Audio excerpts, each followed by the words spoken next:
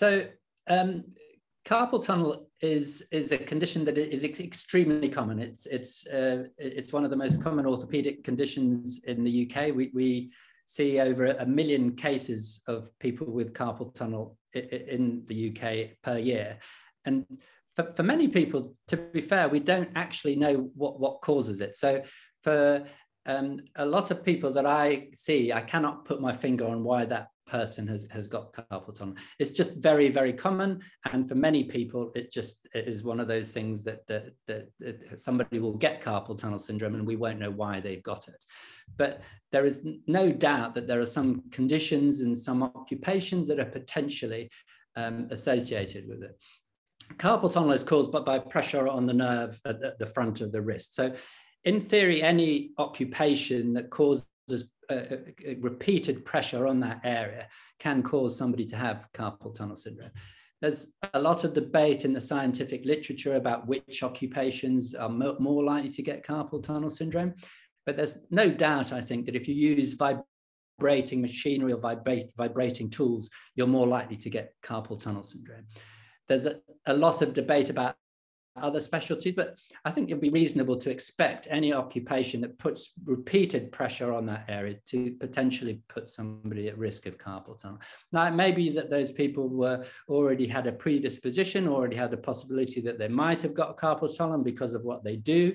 It, it's, it has exacerbated the fact that they've gone on to get it. But, so potentially some occupations, but a, a lot of debate about that.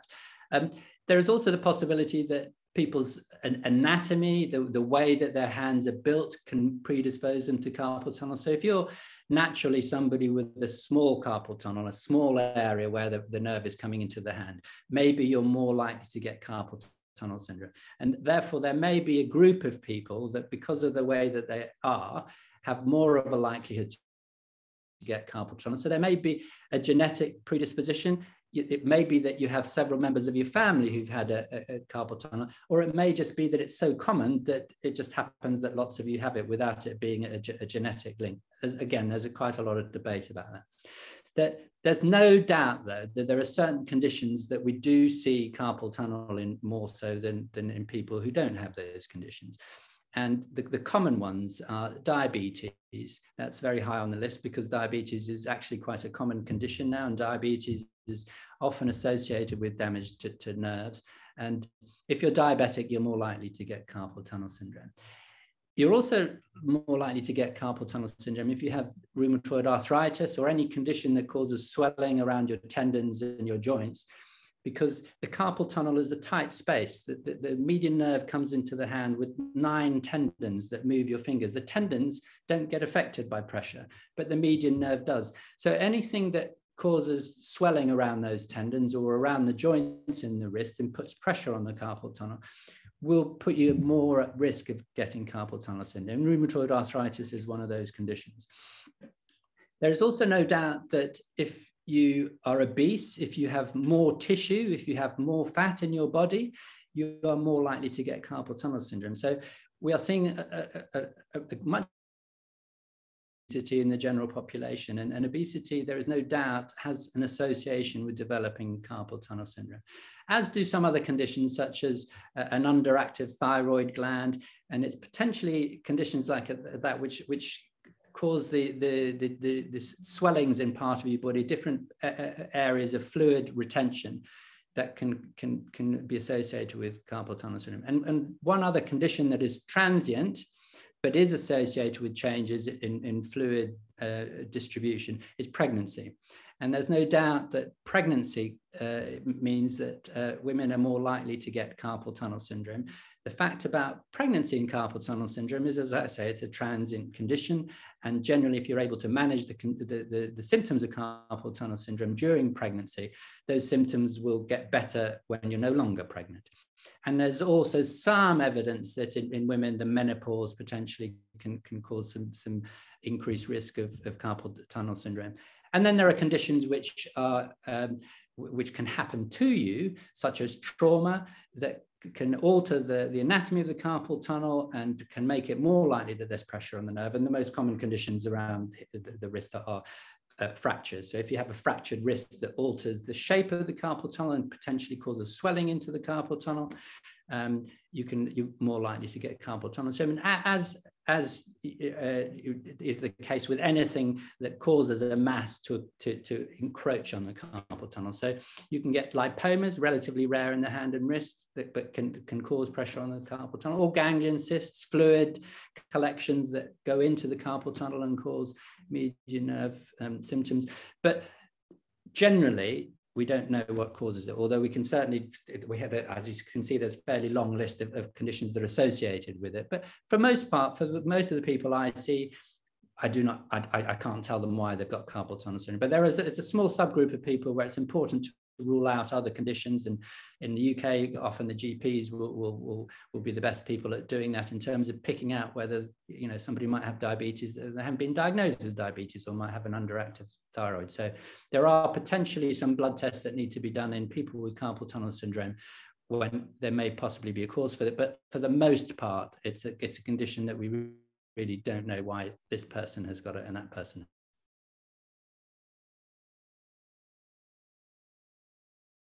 So as I've already mentioned, it's a very common condition and you can really get it at any age. I, I see it in, in every age group apart from children. It's, it's very rare in children, but as soon as you reach adolescence and late teens, early 20s, you can get carpal tunnel syndrome. It, um, it is more common in, in middle age, in sort of 30, 40 to, to, to 60 year olds.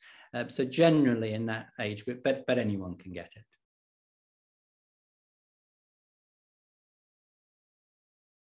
So um, I think it's easier to talk about the, the, the, symptoms first because they're, they're more straightforward. Um, and the, the, symptoms that people get with carpal tunnel syndrome are due to the fact that the nerve is not working normally. And the nerve, uh, nerves, in, in, very simplistic terms, are involved with two uh, functions. They, they transmit sensation from the, the, hand to the brain. They're, they're, they're, the instrument that enables you to sense touch and, and have sensation of pain, temperature, and, and, and uh, all those things that, that deliver messages to, to the brain. But they also deliver messages from the brain to the hand in terms of movement. So in terms of sensation, when you have pressure on the, on the median nerve in the wrist, when you have carpal tunnel syndrome, your sensation is affected. And, and in, in, in the, the, earlier forms of, of carpal tunnel, the, the, more mild forms, you could get the sensation of tingling or pins and needles.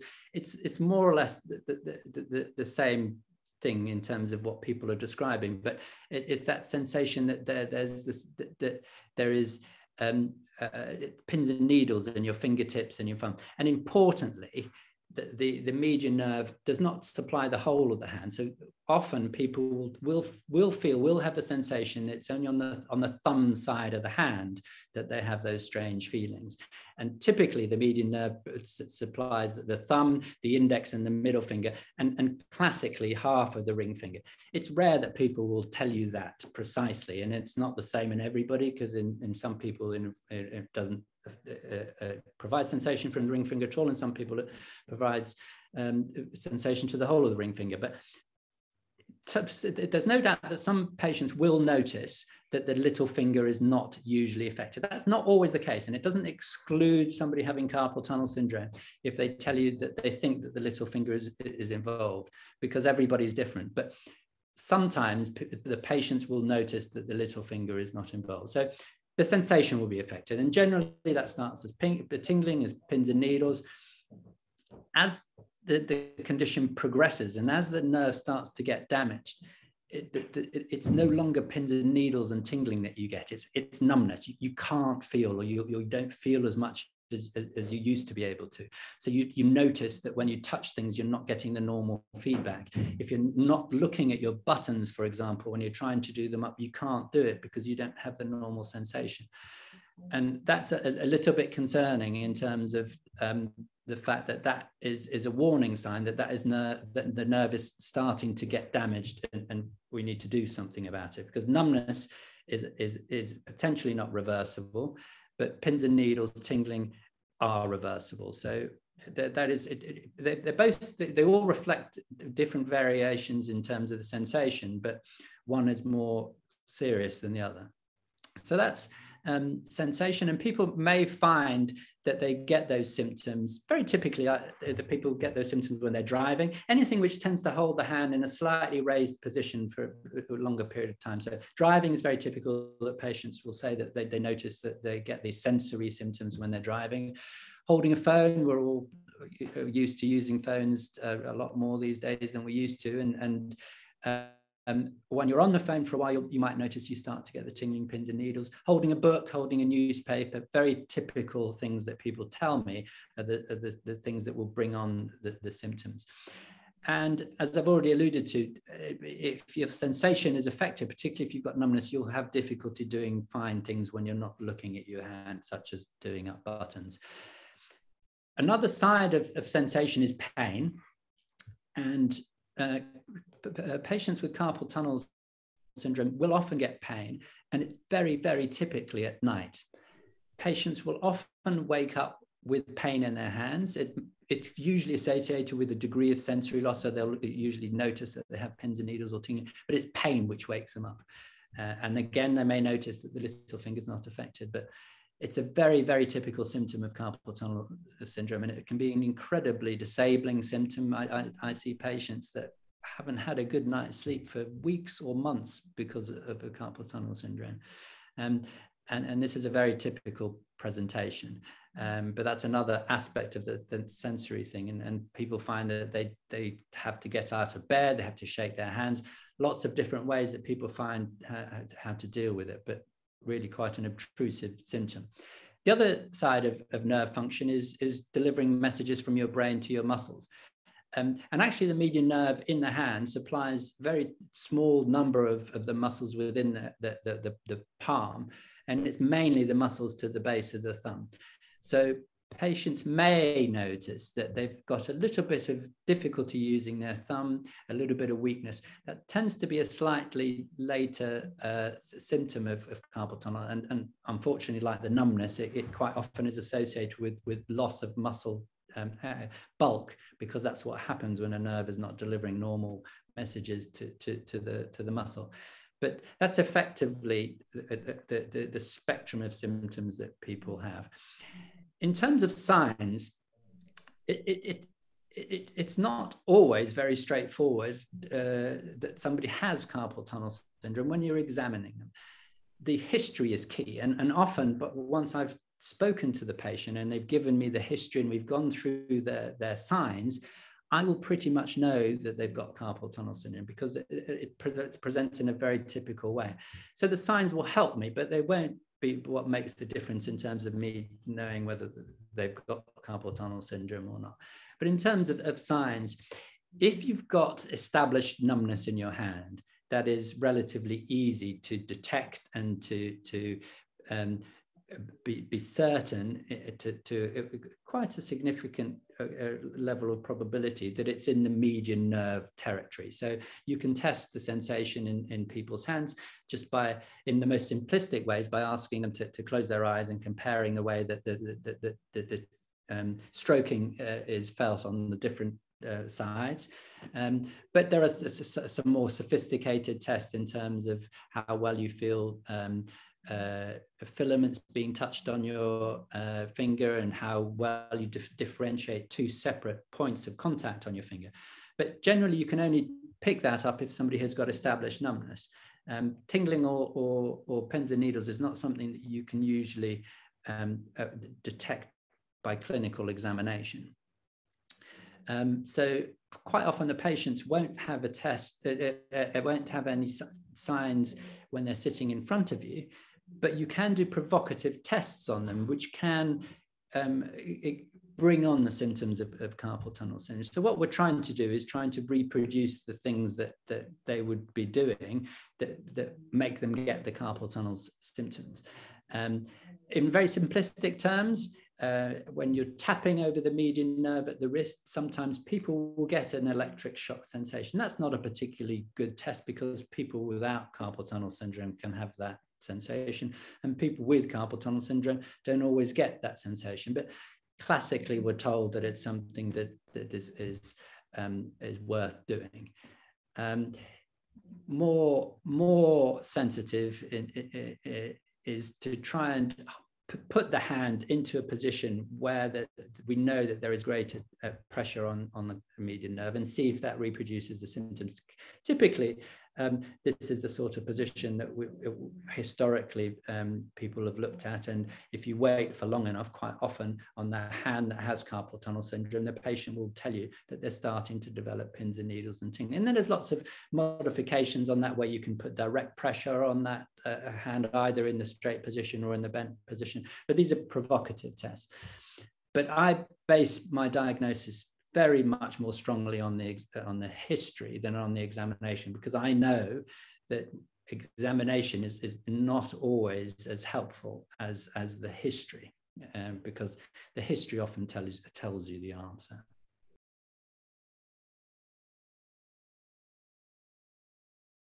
Well, luckily treatment is available, and um, it's, it's, one of the reasons that I have the job that I have is because I treat this condition uh, very commonly. It is it is uh, uh, the, the most common uh, condition that I see in, in my patients because it is a very common condition in, in the general population. In terms of the treatment, I think we have to, to, to uh, uh, grade the, the treatment according to the grade of carpal tunnel syndrome that the patient presents with. Because if the symptoms are very mild, then there are things which are very simple to do, which may make the difference, and we may not need to consider anything else. So, in patients that are just getting the typical night pain and that are getting very little in the way of symptoms during the day, they may find that by using a splint at night, that will help to settle their symptoms. The, the reasoning being, if you can hold the hand in a position where when you're asleep, there is less pressure on that nerve, it will give you less symptoms, less likely to wake you up at night, and hopefully resolve uh, the, the, the, carpal tunnel syndrome. So what you want to be doing is you want to hold a splint which has a rigid bar on, so it holds your, your wrist straight. Now, if you uh, get a, a, splint over the counter with, with a metal bar. It's very easy. Any, any chemist in the UK will, will provide you with one. But you'll notice that those splints are made to be used during the day. And generally, when you're using your hand during the day, your hand, your, your wrist is bent slightly backwards. So um, the, the wrist, the, the metal bar in the splint will be in this position. Now, we we we know from some fairly good anatomical studies that if your wrist is actually held straight in this position, that is the position where, in which there is the least pressure on your nerve. So what I always advise to patients, and if I am the one to supply them with a splint, I will do this myself, but it's, it's relatively straightforward for the patient to do this if they're the ones buying the splint, is to straighten that metal bar. So you want the, the wrist splint completely straight and that is your night splint. It, it's, it's, it's a splint which you use at night. If you want to use a, a splint during the day for whatever reason, it's best to, to have the traditional splint with the, with the wrist bent slightly backwards because that helps in terms of your function. But at night, you want your wrist straight. And for many people, that will be enough in terms of settling their symptoms at night and settling their symptoms overall in, in terms of their carpal tunnel syndrome. So that's the, the milder forms. And in milder forms, you may also find that taking simple painkillers or anti-inflammatory medication, you can control the, the symptoms and, and the carpal tunnel syndrome will, will settle down. Uh, that medication doesn't tend to, but it will treat your, your symptoms, your pain, and quite often it's a, it's a condition that will settle down anyway. So it just helps you get, it helps to get you through that. Um, in, in terms of um, treatments for uh, more severe cause as Well, we're then getting into the patients that are getting more daytime symptoms, more pins and needles, more tingling when they're using their hands during the day. And the first thing to look at is if there's something that you can pinpoint makes brings on your symptoms, then clearly, logically, if it's possible for you to avoid those activities, then that's what where we should start. And for a lot of people, that involves work and and their work environment. So if you're if you're somebody that works at a, at a, at a desk and you notice that you get your carpal tunnel symptoms, for example, when you're using a mouse, then most occupational health departments associated to your work or, or should be able to advise you about better ergonomics at work. And, and there are uh, uh, uh, uh, wrist supports that hold your wrist in better position when you're using a keyboard, so there's not that much bend on the wrist. And there are even special uh, uh, mice, mouses, um, that enable your hand to use the mouse in a slightly different position that in theory will put less pressure on your nerve. So it, you may find that by modifying your activities or by mo modifying your work environment, you're able to control the symptoms. People generally come to me once they've already tried those simple measures and they, they need something else done. If we're still at the stage where you're getting pins and needles, where you're getting tingling, um, it, it, it, may be possible and it may be the right thing to consider an injection into the carpal tunnel. The, the um, the reason for, for considering an injection and the reason why it is effective is what we're putting into the carpal tunnel is a strong anti-inflammatory. It is, it is a steroid, but it's a steroid that just acts locally. And it, it reduces inflammation, but it reduces swelling generally. That's how it functions. So it makes sense that by introducing a, a, a, steroid injection into the carpal tunnel and reducing the swelling, you're reducing the amount of pressure on the nerve, and you're therefore going to help carpal tunnel syndrome. And I always consider an injection if the symptoms are relatively moderate because the injection can be curative. The injection may be all that you need. Um, and in some cases, when the injection works for a long time and the symptoms come back, it's even worth considering a second injection because that may be what you need in terms of settling your symptoms. So I always consider an injection, and it also, in, in many cases, confirms that that's the diagnosis. But generally, I use it hopefully as a treatment method, hoping that we won't need to do anything else. Surgery is, is the other treatment option, and that is reserved only for those patients in which they've either had a carpal tunnel injection and their symptoms have come back, or they've had repeated injections and we're really not getting anywhere with those, or for whatever reason they don't want an injection, or, and this is important, in cases where we feel that there is already some damage to the nerve and that the, the signs are potentially pointing to the fact that if we don't get that pressure off the nerve, that nerve may not recover. So, and that generally tends to be numbness and muscle wasting. So, when in those sort of later, more severe cases of carpal tunnel syndrome, I, I, I prefer to to talk about an operation instead of an injection because we don't want to lose any time in terms of taking that pressure off the nerve because potentially in those cases we're already in a situation where even if we take the pressure off the nerve and we know we've done it on, in a reliable way with an operation, the, the, the nerve may not recover.